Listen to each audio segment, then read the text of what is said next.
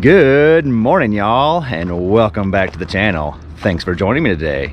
So today we're going to talk about some more broken things and some more money. So recently we shared with you guys how much it costs to get this RV and that truck and to go full timing. $187,416.80 and that was a very big number.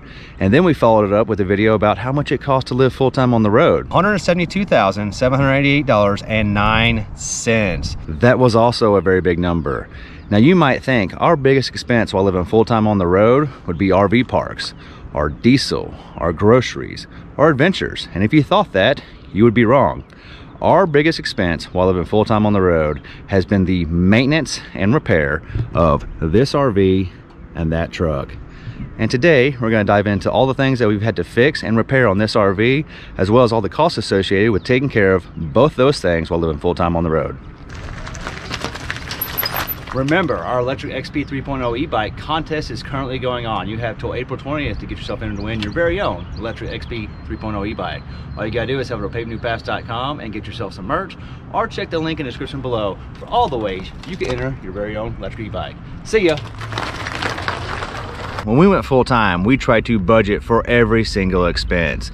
And we did have a budget for maintenance, but it was way, way, I mean, way down there at the bottom of the list on our monthly expenses. We had no idea that that category would end up being the biggest monthly expense we would incur while living full time on the road and this RV and that truck. And that's because we failed to recognize that if you live and travel full time and move often, you're gonna incur more repair costs than just simple maintenance on that right there and that truck over there. We're gonna talk about every single maintenance, repair, and upgrade item that happened on our full-time journey. Now we did do some upgrades prior to moving into it, but today is all about everything that happened from day one when we started our full-time journey two years ago. And we're gonna start with the truck. Oil changes. If you live and travel full-time on the road, you're gonna wreck with the miles and you're gonna need oil changes. We've had eight so far for a total of $880. Now we go to the Ford dealership for this service because they only charge $110. We use the onboard computer to tell us when it's time to change it. We've gone as little as 5,000 miles between changes when pulling through the mountains of Colorado, and we've gone as long as 9,000 between changes when at home for holidays on break. But oil changes, you're gonna need lots of oil changes. Fuel filters. This is another important routine maintenance thing you have to take care of, especially if you own a diesel. Now we change our fuel filter every other oil change and it costs us $175 and we have it done at the Ford dealership when they're changing the oil. We spent a total of $700 on fuel filters. Batteries. Now this is an expense we didn't plan for because it's not normal maintenance, but our batteries went bad and this truck has two It cost us $331.14 to replace both batteries in this truck. Hey there. So when we got done with our first trip out west, we realized the airbags we installed on this truck were not big enough. We had the 5,000 pound airbags and it was taking full system pressure to air up the truck. So we decided to swap them out or upgrade them for the 7,500 pound airbags and that cost us $657.56. Since we were upgrading the airbags, we decided at the same time we'd upgrade the shocks on this truck. We went from the stock Ford shocks to the Bilstein 5100s, and that cost us $402.99 for some new shocks. Air filters. Your truck loves fresh air. And when our first air filter went bad, we decided to replace it with a lifetime washable air filter. That cost us $98.50 because this truck right here likes fresh air. Another upgrade we did was for the Ford Death Wobble. We never had it, but we decided to upgrade our steering stabilizers to avoid it ever happening. We installed the Icon Dual Steering Stabilizer Kit and it cost us $440.65. Tires. After our first year out, we had 44,000 miles on these tires and they were shot. And that's because we didn't rotate them a single time. Because on a dually, you have to take the tires off each rim and move the tires to different rims to do it correctly. That cost us $1,722. Now this year, we are rotating the tires with every oil change, and right now we currently have 40,000 miles on them, and it looks like it's gonna give us a little bit more life, but not much. We started having problems with our onboard air system and we found out that we had water in the tank and that caused the pressure switch to go bad as well as the check valve to go bad because they were rusted. That cost us $79.80 to repair that. After we fixed the pressure switch and the check valve on the air system, we decided to install a remote drain valve so we can ensure there's no more water in the system. It runs over Ford upfitter switches and it costs us $70. We replaced our bed cover and it was absolutely free thanks to one of you guys out there. So one of you guys noticed I had scratches on my bed cover from when it being folded up during towing and they said that you actually have a great warranty with BAKFlip. So we reached out to BAKFlip, filed a claim, and they sent us our brand new bed cover for free. Truck brakes. This one cost me big time and it's all my fault. I decided to run my brakes a little bit too long. It ended up costing me two new rotors. That's because I ran the front where there was no more brake pads and ended up gouging both front rotors. This went from being a normal maintenance item to a major repair. Cost me $1,184.72. When you add all that up, what's it come out to? $6,567.36. That's how much money we've spent on the last two years of full-time living to maintain, repair, and upgrade this truck. Now, y'all wanna see how much it costs to take care of this right here? It's a little bit more. We have a washer and dryer installed in our RV and it costs us $2,865 to be installed by a dealership in Texas.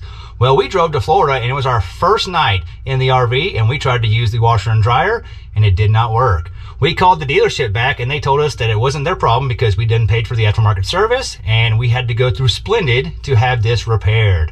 This was actually the best thing about this because we called Splendide and they have awesome customer service. It was an inconvenience, but they came out and fixed everything for free and it cost us nothing to get our washer and dryer working. One of our very first nights that we lived in this RV, we decided to enjoy the outside and we turned on that light, that light, and the one back there. The next morning, we woke up and none of those lights worked. Turns out the bulbs were just bad. So we upgraded to LED light bulbs and we haven't had a problem in the last two years since, and that cost us $16.29. As we started traveling more, it seemed like every time we moved, more things were falling apart. More specifically, the trim pieces in our ceiling. So that one, that one, that one, and even that one up there. They all eventually fell down while moving. So another trip to the Blue store and $22.40 later, we installed better fasteners and glue and they haven't fallen down since. Our very first time to spend the night in the RV when it was raining, we learned that our slide topper right here on our big slide holds water.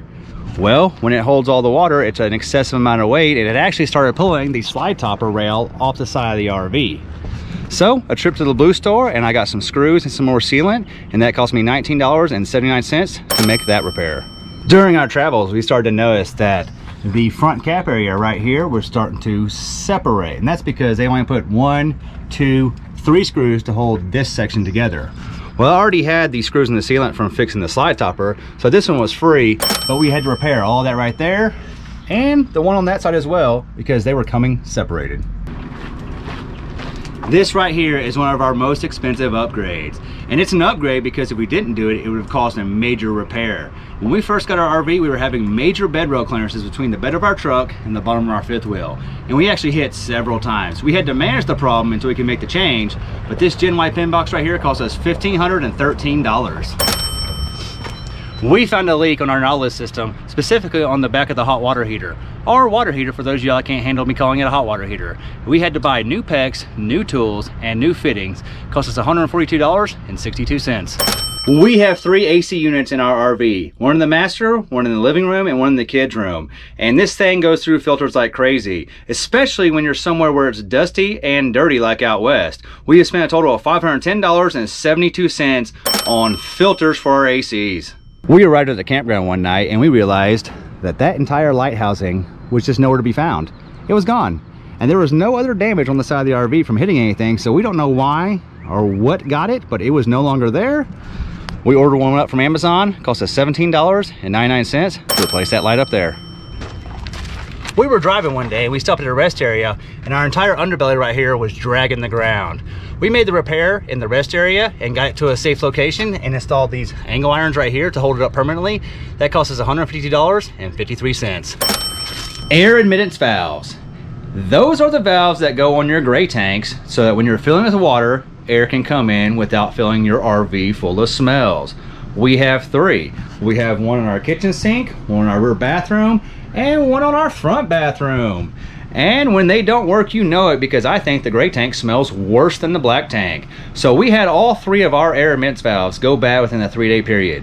So I bought three new ones as well as three spares so that the next time they go out, I already have the part available. That cost me $41.64 for new air admittance valves. This is our main entry door step rail. And one day, this cover right here ripped off.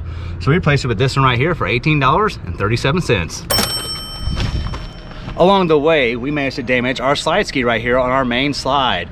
We had a mobile repairman come out and help us and it cost us $448.94. All of our awning lights started to go out and we have three.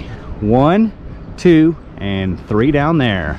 And once they start to go out, it gradually gets worse. I made the repair myself and ordered the lights off Amazon. Cost me $180 we were driving down the highway one day and we noticed our roof was trying to come off the RV. And that's because right here at the front cap area, it was coming unglued and blowing up with air. So it was blowed up with air from the front cap all the way to the front AC unit. Now we managed it for almost nine months because it wasn't leaking yet, but we didn't have many choices. I know you're saying, why don't you get a warranty? Well, we're the second owner of the RV and there's a lot of fine print and warranties. Plus, even if we did use the warranty claim, they were gonna replace it with the same subpar roof. We ultimately decided to spend our own money and replace it with an RV armor roof that has a lifetime warranty. That cost us, are you ready for it? Our biggest repair that we had not planned for. $8,200 to get a new roof on this RV after about nine months of ownership. If you live full-time in an RV, eventually you're gonna park your RV somewhere with a lot of humidity. And in order to get the humidity out, you need a dehumidifier. So we got this one right here. This cost us $291.19. The cable for the breakaway switch on the trailer got hung up in the bed of the truck one day and got pulled in half. We went to Lowe's and got a new cable, new ferrules, and a carabiner. It cost us $15.99 to fix that. All right, so we installed a brand new mattress on our king bed from rvmattress.com by Brooklyn Bedding. And it's awesome, but it led to a repair that we didn't think about. The extra weight of this mattress compared to the stock mattress caused our struts to break as well as the hinges that hold the bed together where it pivots up. It cost us $60 to buy heavier struts and new hinges. I was recently working on my furnace and I thought the control board was bad. So I ordered a new control board. It cost me $93.99. Turns out that wasn't the problem, but now I have a spare part. But while I was troubleshooting, I found out that the fan wheel on my furnace was actually cracked. So we replaced that as well for $11.99. I was inspecting the RV one day and I found that all my running lights on the back of the trailer were cracked. So I have one, two, three, four, and five. And all of them, the lenses were cracked. I think it's due to sun damage and UV rays. So I ordered up a new set from Amazon. It cost me $13.90 to replace all those lenses. Our sink started leaking right here around the drain one day. It was just the seal around the drain valve. So we went to Lowe's and got some new sealant. $9.70 later, both of our sinks were repaired. Every year, we do some major maintenance and we pressure wash our frame and recoat it with fluid film. That prevents any rusting. This costs us $121.88 generator maintenance. Now we don't run this thing often, but we do use it and we take care of it every single year regardless of the running hours. It costs us $188.99 to take care of our generator. Wheel bearings. We take care of our wheel bearings every single year or every 12,000 miles and we do the job ourselves. It costs us around $100 for new seals, new grease, and a bunch of brake clean to clean and thoroughly inspect everything before reassembling it. Our Norcold refrigerator has been great, but we do have a bottom shelf that has vegetable drawers installed on it. And when you pull them out, it opens the lid automatically. Well, that is a piece of plastic that has the mechanism that makes that happen, and it broke. And you can't just buy that. We had to actually buy the whole new bottom shelf assembly. That cost us $125.16 to fix the vegetable drawers. Our RV is full body paint and we love to keep it clean. Normally we do it ourselves, but there have been times I've paid someone to detail it. Twice actually, and it's cost me $350. We upgraded our battery in our RV to a lithium battery, which means our stock converter would no longer work. So we upgraded to a Progressive Dynamics lithium converter and it cost us $283.13. These sewer hoses right here, they're not cheap and I've had to replace two for $110. The first one, the maintenance crew stepped on it and crushed it, The second one looks like it got a little closer to the weed eater. Either way, I had to replace it twice. The motor in our AC started to squeal one day and it only got worse. We decided to do the job ourselves and it cost us $125.98. We decided to update the interior of the RV and Alicia wanted me to add tile around the fireplace. So we put tile around the fireplace. And she loved it so much so that she asked me to put it around the backsplash in the kitchen. So there it is on the backsplash in the kitchen. And we also put it in our master bathroom. This cost us $129.96. Water hoses. I have had a battle with these zero G water hoses. At first they were great, but then all of a sudden they start leaking all the time. Even brand new ones out of the box would leak. I spent 200 plus dollars replacing leaking water hoses. The short time we did have the stock roof on this RV, we had to do some maintenance on it. Now ours came with a vinyl roof, but TPO and vinyl roofs require the same sort of maintenance. You have to reseal it every six months with Dicor, which is a self-leveling lap sealant. We spent $144.49 on Dicor. You always need lube. This box right here is our lubrication box. We have grease, we have more grease, we have dry lube, we have wet lube. And all these lubrications to take care of the RV and the truck it cost us $400 when you turn lights on you expect it to go something like this. That's what you expect well at one point we developed a flicker and that one right there and we started calling this club momentum because it was strobing like crazy eventually it stopped working well we bought new light bulbs off of Amazon for $57.99 and we replaced them ourselves However, they only sell it to you in a bag of six, which is good because when we replaced it based off the part number, the white hue in it did not match. So we ended up replacing that one right there so they would have matching whites. Now we're waiting for the next set of lights to start flickering and we have four more replacements ready to go. I like to wax the RV and the truck and really it just takes time and commitment but I have spent a total of $600 on waxing and polishing supplies for the RV and the truck bug spray. No one likes bugs in their RV. So we mixed up some bug spray in this container and every time we set up, we spray the jacks, the tires, the sewer tubes, and the electrical connections to prevent bugs from getting the RV. We spent $108.84 on bug spray. Tank treatments. We use the BioGeo method, which is ZEP, Borax, and Happy Camper for your gray tanks, Dawn, Borax, and Happy Camper for your black tanks. Now we have four tanks, two black and two gray. And we treat our tanks before every move, which is usually every seven to 10 days. We have spent a total of $1,000 on tank treatments. One of the biggest upgrades we did in the toy hauler was we needed our girls room to be more usable. So we ditched the Happy Jack couches and we built a bread frame, this one right here, that matches the top one right there from the factory. This cost us $350, but now our girls have two usable queen size beds in their room. Our new roof from RV Armor doesn't require any maintenance at all. The only requirement is you keep it clean. So we clean it every three to six months and inspect it for damage and it's cost us $55 in cleaning materials. Water filters. We have this Blue Technology R3 three-stage water filter as well as the onboard one from Grand Design. We have spent a total of $564.63 on water filters we never use our rear bathroom so we decided to make better use of the space. So i built this shelf right here to go above the shower. We store the baby diapers the baby wipes the swim diapers and i had this rod right here to store our winter gear.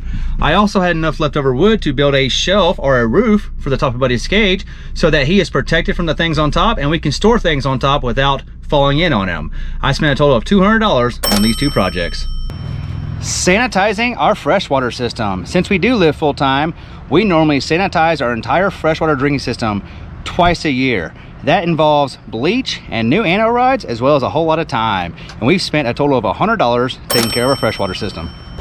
We didn't just damage our slide once, we did it twice. And the second time we did a better job because we stepped on the slide when it was in the M position at a rest area. That caused the floor to fall away from the wall and we had to fix the floor and both slide skis. That cost us $605.33. Couch pull handles. These couches have pull handles and they break all the time.